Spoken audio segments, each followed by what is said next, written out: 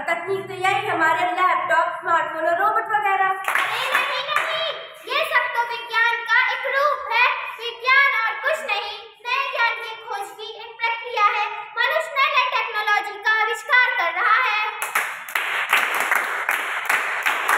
जैसे आलू के बिना समोसा अधूरा है अधूरा है अधूरा है जैसे सिरे के बिना रसगुल्ला अधूरा है अधूरा है अधूरा है इसी प्रकार विज्ञान और तकनीक के बिना हमारा जीवन अधूरा है अधूरा है अधूरा है अरे रे क्या करूँ घर में इतने सारे काम है अब बेटी का फॉर्म भरवाने शहर भी जाना है खेतों में भी काम है अरे भाई क्या हुआ? इतना परेशान क्यों अरे भाई क्या करूँ? बेटी को फॉर्म भरने शहर जाना है खेत में सारे काम है फॉर्म भरवाने शहर जाओगे? तो गाँव में कोई सुविधा तो नहीं है।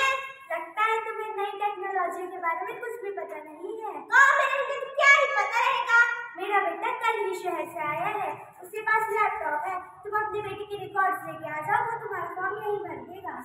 हाँ हाँ भाई हम अभी आते हैं अपनी बेटी का रिकॉर्ड लेके ये भाई मेरी बेटी का रिकॉर्ड बेटा इधर आना हाँ पिताजी आपने बुलाया। ये इनकी बेटी के रिकॉर्ड है। इनकी बेटी का नवोदय का फॉर्म भर दो। अंकल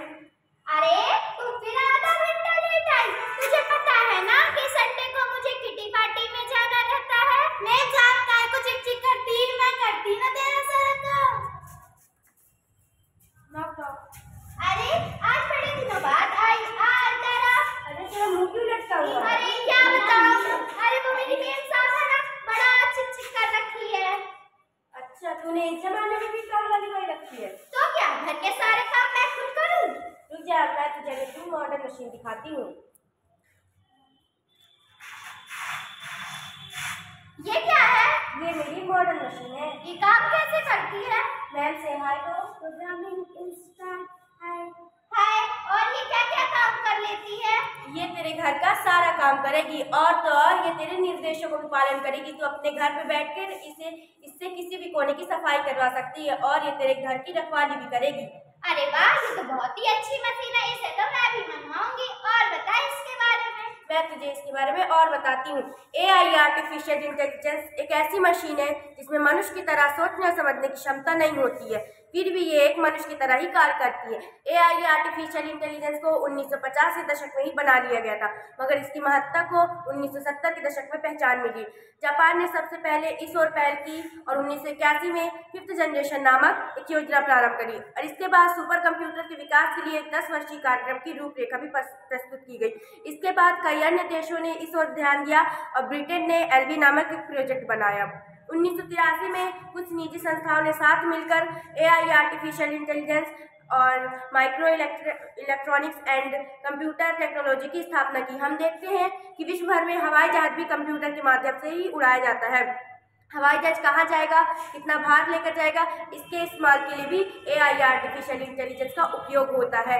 मनुष्य लगातार तीन घंटे काम करता है और वो थक जाता है। लेकिन एक आर्टिफिशियल इंटेलिजेंस एक ऐसी मशीन है जो लगातार कई घंटों तक काम कर सकती है। सोफिया के तर्ज पर भारत ने भी एक मशीन का निर्माण किया जिसका नाम रश्मि रखा गया रश्मि को 20 अप्रैल 2017 में बना लिया गया बना लिया गया था।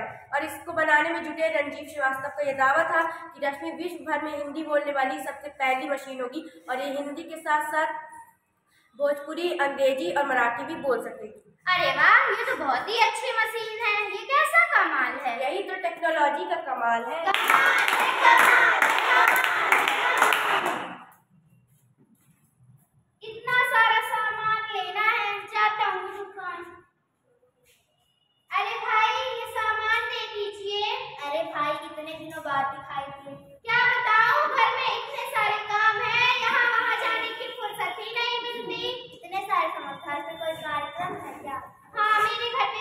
पे है। आप एक काम करिए जल्दी से मुझे सामान दे दीजिए। हाँ भाई अभी देता ये लो भाई तुम्हारा सामान। कितना हुआ?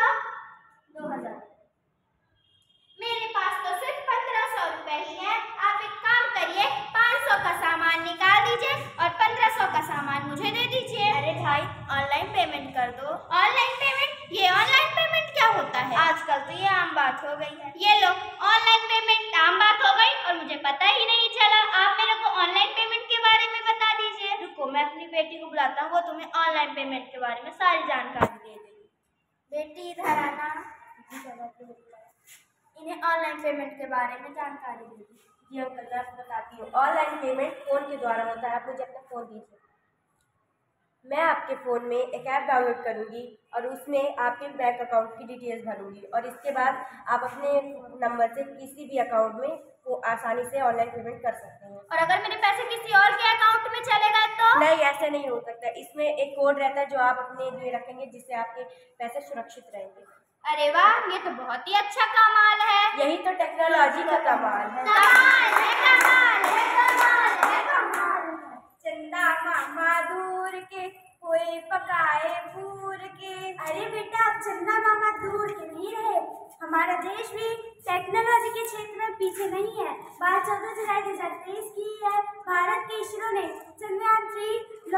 किया जो तेईस अगस्त दो हज़ार तेईस को चंद्रमा के साउथ पोल को टच किया, जिससे हमारा देश चंद्रमा पर उतरने वाला चौथा और चंद्रमा के साउथ पोल को टच करने वाला पहला देश बन गया। इसका उद्देश्य चंद्रमा में उपस्थित रासायनिक एवं प्राकृतिक जानकारियों को प्राप्त करना है। इससे पहले भी दो स्पेसक्राफ्ट भेजे गए थे। मिशन चंद्रयान एक बाईस अक्टूबर 2008 को भेजा गया था, जिससे हमें यह पता चला था कि चंद्रमा में वाटर है। इसके ठीक बाद 2019 में मिशन चंद्रयान टू भेजा गया, लेकिन यह मिशन फेल हो गया था। इसके ठीक चार साल बाद मिशन चंद्रयान थ्री लॉन्च किया गया, जिसका पूरा खर्चा छः सौ पंद्रह करोड़ है, जो एक बॉलीवुड मूवी से भी काफ़ी कम है।